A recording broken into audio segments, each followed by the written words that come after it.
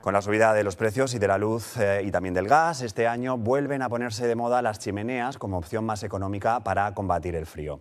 Esto ha tenido dos consecuencias. Por un lado, se ha disparado la demanda de leña y por otro, los desollinadores se han quedado sin hueco en sus agendas. En los tiempos que corren, Y es más barato que la luz y más barato que el gas. Y luego aparte la leña también la puedes recoger tú. se encienden las chimeneas.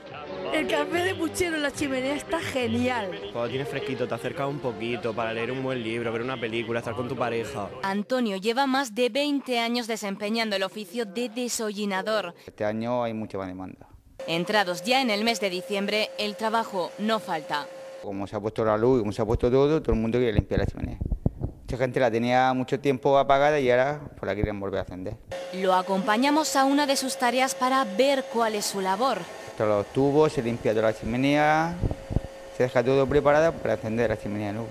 Desde el 112 recomiendan desollinar la chimenea, mantener limpio el tiro y lejos todo lo que pueda arder. Y la chimenea ya está preparada para, este invierno, sin ningún problema.